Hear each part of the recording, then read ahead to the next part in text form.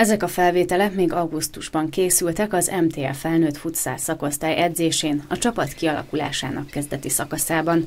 Korosztályos szinten már tavaly részt vettek a klub fiatal labdarúgói a Bozsik program által rendezett futszál tornákon, felnőtt csapat azonban most indul majd elsőként az MTL történetében.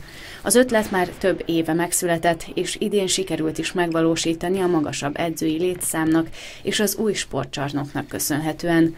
A futszál lényegében eltér a nagypályás labdarúgástól, ám számos olyan pozitív hatása van, ami kihathat arra, hogy a fiatalok a későbbiekben akár dinamikusabbak, labdabiztosabbak és fejben gyorsabbak legyenek a gyepen is. Mi az alapkoncepció volt az elindulásnál, hogy az MTL képzési filozófiájában ez egy nagyon illeszthető specifikusan illeszthető sportág, hiszen hasznát tudjuk venni a nagypályán is, mondjuk a négy játékos együttműködésében, a rombuszalagzat kialakításában, építésében, bontásában, labda nélküli mozgásokban és a futszál elemeket, illetve tovább megyek ugye nyilvánvalóan a sok labdaérintés, a labdaérzékelés, a technikai dolgok is bőven előnyére válnak az adott labdarúgónak, aki éppen futszálozik.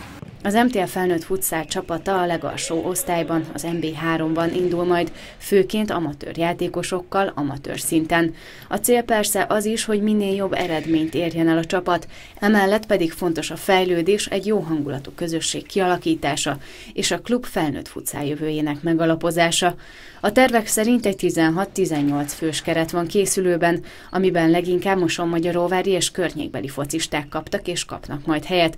Köztük akadnak olyanok, olyanok is, akik nem először futszáloznak, és szívesen állnak a többiek segítségére. Három éve kezdtem el futszálozni Győrben, mikor oda kerültem középiskolában, akkor ismerkedtem meg futszálos játékosokkal, ők hívtak el egy edzésre, elmentem az első edzésre, nagyon tetszett a játék, rengeteg érintés van benne, rengeteg kommunikáció, nagyon gyors a játék, nagyon fárasztó, nagyon lendületes, ezért szerettem meg, és a nagy pályát azért hagytam abban, mert ebbe szerettem volna belefektetni minden energiámat. És ami nagyon fontos az égtől, ugye, az által befogadott labda, minden esetben a birtokába, és igazából neked robbanni kell a labdát. A régiós bajnokság kiírása még nincs teljesen kész, így nem tudni kik vállalják majd a szereplést és kik lesznek az ellenfelek.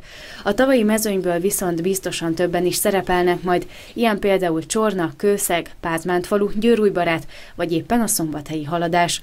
A bajnokság nem fog ütközni a nagypályás őszi és tavaszi szezonnal, várhatóan novemberben kezdődik majd el és áprilisban ér véget. A futszállal kapcsolatos további információkat a klub közösségi oldalán lehet majd megtalálni. A hazai mérkőzések az UFM arénában lesznek, ahova minden nézőt és szurkolót szeretettel várnak.